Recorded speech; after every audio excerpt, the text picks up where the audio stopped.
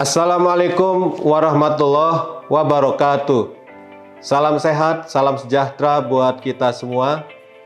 Atas nama keluarga besar Sivitas Akademika Universitas Sultan Ageng Titayasa, saya Profesor Dr. Insinyur Haji Fatah Sulaiman STMT selaku Rektor Universitas Sultan Ageng Titayasa dengan ini mengucapkan selamat Dies Natalis ke-16 Universitas Majalengka. Semoga Universitas Majalengka semakin maju dan turut bersama-sama berkontribusi untuk mewujudkan SDM Indonesia yang unggul dan utuh serta Universitas Majalengka bernas karena berkualitas. Terima kasih. Wassalamualaikum warahmatullahi wabarakatuh.